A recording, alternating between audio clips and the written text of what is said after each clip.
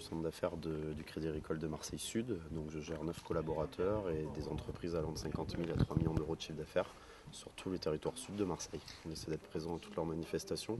Euh, derrière, nous ancrons vraiment dans un système de partenariat et le mot partenaire est assez fort puisqu'à aujourd'hui, ben, c'est un partenaire incontournable pour nous dans le développement, dans la création, dans le suivi de nos clients et des entreprises.